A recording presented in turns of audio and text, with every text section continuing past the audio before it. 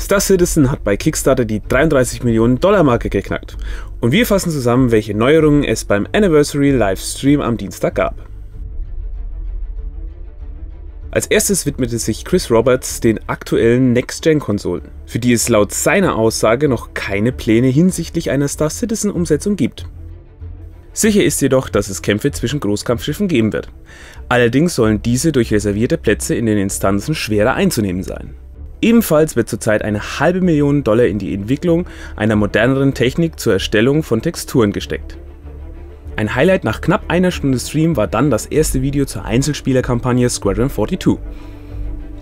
So soll die Story des Spiels nicht nur linear verlaufen, sondern sich anhand der Entscheidungen des Spielers entwickeln und ändern. I'm actually really excited to be working very closely with the community to basically make something for the people who are going to be playing the game rather than just developing something and then putting something out there under the sort of constraints of working for a publisher. And in, in terms of the way we're doing it now, we get to basically, you know, work direct with people. You know, we spend a lot of time on the forums, understanding what people want and what they feel, you know, and basically where they want to go.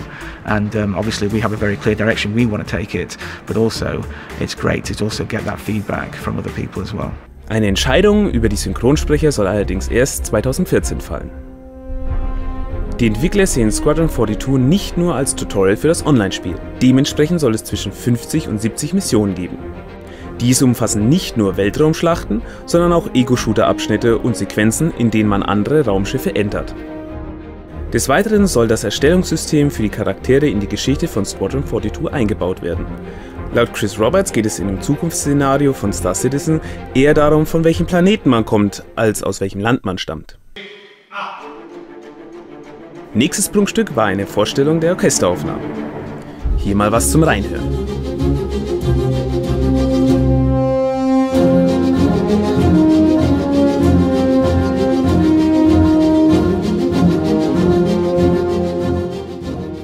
Die Musik stammt aus der Feder von Pedro Macedo Camacho. Dieser ist unter anderem für die musikalische Untermalung in Sacred 2 und Afterfall verantwortlich gewesen. Für ihn reichte schon der Name von Chris Roberts, um ins Projekt einzusteigen. Um 6 bis 7 Minuten perfekte Musik zu erhalten, braucht es laut dem Komponisten bis zu 4 Stunden Aufnahmen im Studio. Die Musik im Spiel soll dynamisch sein und auf Ereignisse reagieren können. Auch für jede außerirdische Rasse wird es spezielle Musik geben teils auch schräge Klänge, die sich wohl kein Mensch freiwillig anhören würde. Es spuken auch viele Gedanken zu einem integrierten Radio herum. So spiele man mit den Gedanken, den Usern eine Lizenz zu verkaufen, mit welcher sie dann ihren eigenen Sender im Spiel streamen können. Ein anderer Ansatz ist, dass der Spieler eigene MP3-Musik direkt im Spiel anhören kann. Nach der Vorstellung haben die Star Citizen-Fans sogar die Webseite von Petro vor lauter Interesse zusammenbrechen lassen. Zurzeit wird auch am Asteroid-Hangar gearbeitet. Noch vor Weihnachten soll es einen entsprechenden Patch geben. Des Weiteren soll der Hangar mit mehreren Etagen ausgestattet werden. Etwas geschockt dürften die deutschen Fans gewesen sein, als bekannt gegeben wurde, dass es keine Star Citizen Con 2014 in Berlin geben wird. Dies liegt daran, dass kein Veranstaltungsort gefunden werden konnte, in den mehr als 3000 Personen passen. Stattdessen soll es mehrere kleine Events rund um die Welt geben. Das neu vorgestellte HUD, Design von John Likens, konnte begeistern.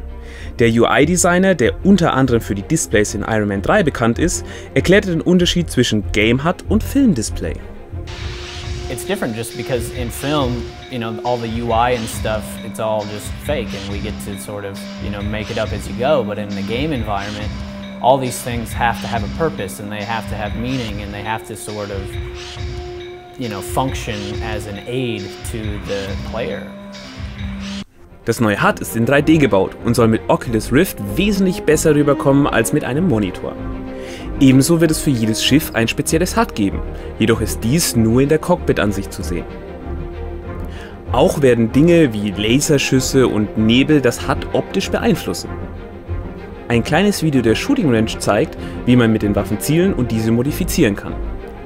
Die Waffensounds sind allerdings noch nicht ansatzweise final, an ihnen wird noch gearbeitet. Und für alle Nörgler, man ist sich wohl bewusst darüber, dass eigentlich im Weltraum keine Geräusche zu hören sind. Aber für die Atmosphäre im Spiel sind sie enorm wichtig.